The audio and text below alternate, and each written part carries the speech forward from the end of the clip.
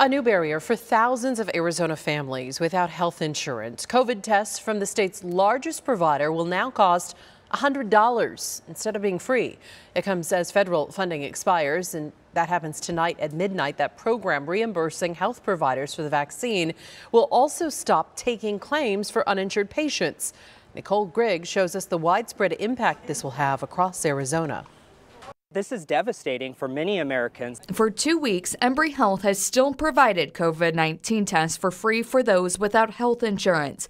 But today, Raymond Embry tells me they made the hard decision to start charging $100 a test because the money has run out, impacting especially underserved, potentially undocumented communities. And, you know, those are the folks that have the least amount of access to health care. Nearly 50% of their patients are uninsured. Embry says they have not received a dollar from the federal program for the uninsured since March 16th. They have been waiting for Congress to act. You know, if we go and we close 300 test sites, we're not going to reopen those sites. Um, there's no way that we would make this kind of investment again if Congress and um, if our congressional representatives say that testing is not going to be reimbursed. Now, these testing lines are nothing like what we've seen from these surges before. We're seeing cars every couple minutes come through, though. Embry Health tells us they've been serving around 2,200 patients a day. And just before midnight on Tuesday, that same program for the uninsured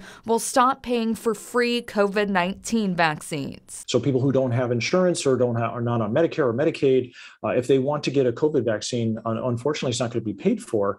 Many providers likely moving to a cash pay scale for the uninsured, and the White House says without Congress passing more COVID funding, the ability to purchase more vaccines and monoclonal antibody treatments are also at risk, as well as sustaining testing capacity. In Phoenix, Nicole Grigg, ABC 15, Arizona. In depth now on how big of an impact this has. A recent study from the Kaiser Family Foundation finds one of every 10 Arizonans don't have health insurance.